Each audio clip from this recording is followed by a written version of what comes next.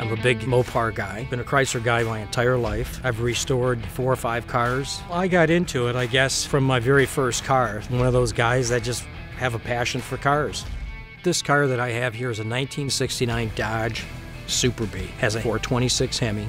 It's a four-speed car, and it's called a Super Track Pack, which is a Dana 410 Posi Traction or Sure Grip. It is a white car with white interior. It's very rare color combination, and it may be the only white-on-white Hemi four-speed known to exist this thing kind of dropped down from heaven on me, actually. The car had already been sold. Months later, the guy with that car, he said, Are you still interested in that white Hemi car? And I said, Of course.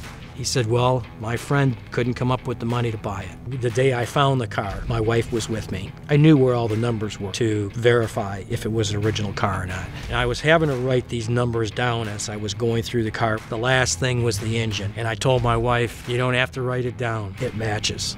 From that point, it was a nine-year nut and bolt rotisserie restoration project.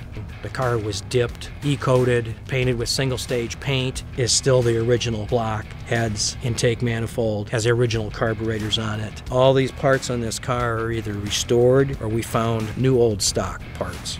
The preservation of the car is more important to me than anything.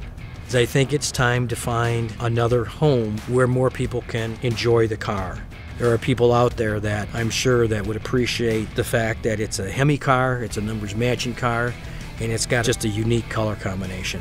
Us Mopar guys, almost like a cult. I don't know if it's bred into us or we learned it. Whatever that case is, we're just Mopar fanatics.